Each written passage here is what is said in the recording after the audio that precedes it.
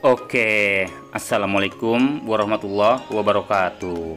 Welcome back to my channel Mas Pro Edisi kali ini gue pengen ngebahas seputar Honda resmi merilis warna baru untuk all new Honda EDV 160 versi 2023 nih.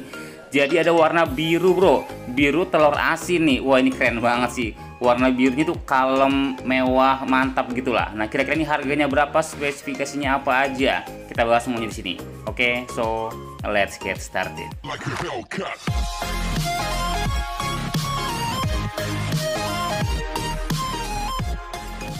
Nah, jadi Honda resmi merilis warna baru untuk EDV 160 versi 2023 nih. Warnanya biru gitulah. Nah, Honda EDV 160 pertama kali dirilis pada tuh e, bulan Juli 2022 di Indonesia. Nah, sudah hampir satu tahun menjelma dengan mesin barunya nih menggunakan 160 cc. EDV 160 bukan hanya dirilis di Indonesia aja nih, namun juga di negara lain terutama di negara ASEAN nih seperti Thailand, Malaysia sampai Singapura. Ini juga menjual motor Matic Adventure ini. Nah, menariknya kini tersedia warna baru nih yaitu warna Pearl Bosporus Blue atau bisa kita sebut ya biru telur asin lah. nah, bukan hanya dijual di Indonesia aja, Honda EDV 160 juga resmi diperkenalkan di Singapura.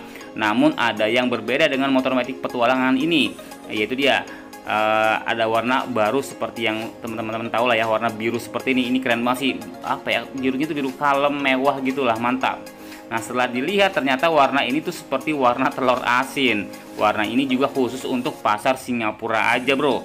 Nah pasalnya sudah saya cek nih di website Honda Indonesia Malaysia sampai ke Thailand juga tidak ada warna ini. Memang ini diprioritaskan untuk Singapura.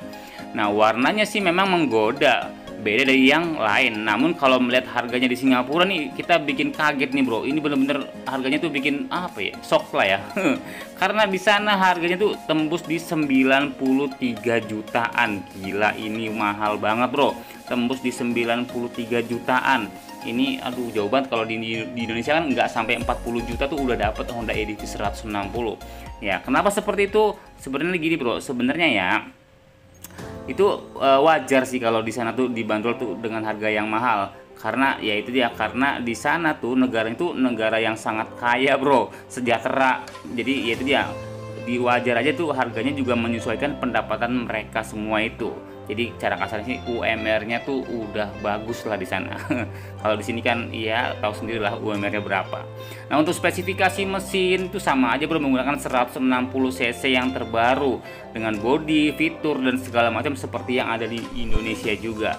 Nah semoga AHM mau lah ya untuk membuat warna biru seperti ini karena ini kalem banget sih birunya gue demen kalau begini. Oke, semoga informasinya bermanfaat tentang dunia sepeda motor. Jangan lupa komen, like, subscribe-nya, share juga boleh biar yang lain juga pada tahu. Sekian dari saya. Wassalamualaikum warahmatullahi wabarakatuh.